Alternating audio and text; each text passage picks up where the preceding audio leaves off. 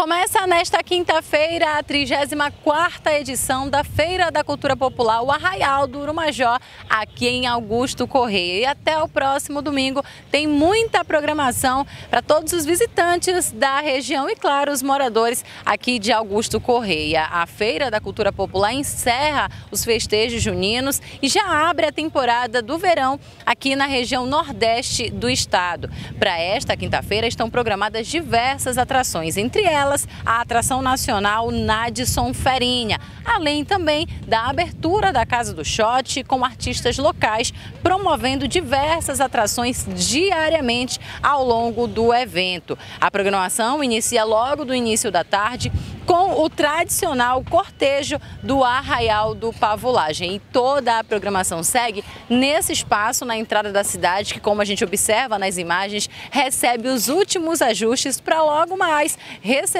todo mundo que vai passar por aqui ao longo das noites da Feira da Cultura Popular. Nesta quinta-feira, além de Nadson Ferinha, tem também a atração Arraial do Pavulagem, Super Pop e outras atrações locais. Olha só, tudo está sendo montado e tem muita coisa boa para acontecer por aqui.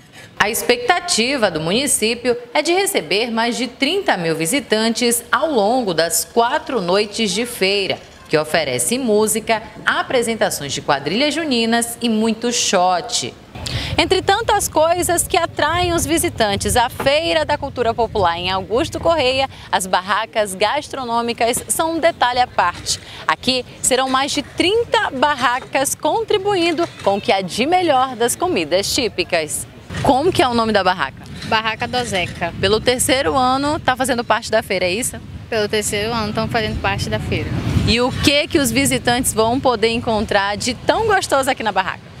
Várias comidas típicas, principalmente o bom atendimento das meninas, que esse é o principal além das comidas, claro, e as bebidas.